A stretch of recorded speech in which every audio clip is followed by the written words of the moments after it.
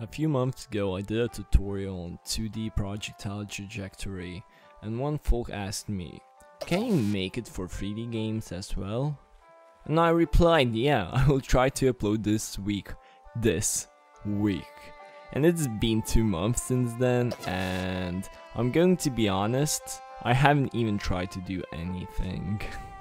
Alright, I don't want to waste your time so let's hop into the project. As you can see I already set up the whole project and right now it has the same trajectory script from the previous tutorial so we need to modify the script just a little to work. The first thing we need to do is to change the velocities variable type from vector 2 to vector 3. We do the same with function hit position. Lastly, we change from physics 2D to physics.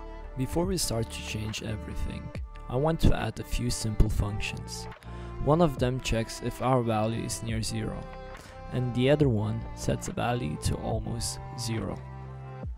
Now we can modify the max time max function to look more pretty, and we copy paste and change every x letter to z. At the calculate line point, we need to add z.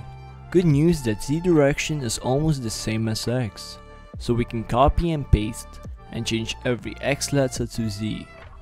Next, we go to hit position and change the line cast from physics 2D to physics.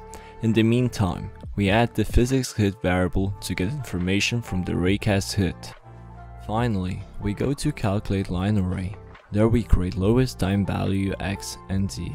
Then we create a ternary operator to decide which value is lower by storing it to lowest time value variable. Now we can go to the editor and add the obstacle layer. Don't forget to assign the layer to obstacles and layer mask. Actually you just needed to change few lines. However, you chose to wait for two months. You're, You're such, such, a, a dummies. Alright, jokes aside which are 100% right. Don't forget to subscribe, leave a comment on what next tutorial you want to see. Okay, see you two months from now.